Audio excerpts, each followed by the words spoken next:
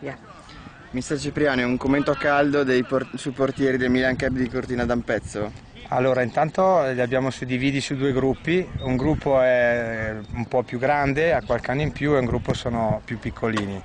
Sono quattro per cui si può lavorare tranquillamente, stanno lavorando, come vedete sono impegnatissimi, posso anche avere la possibilità di avere una pausa perché loro intanto nel frattempo si arrangiano.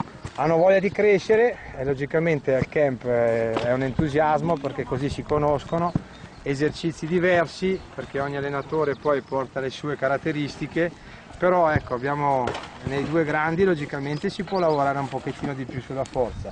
Sui piccolini diciamo così che è una cosa abbastanza più tranquilla.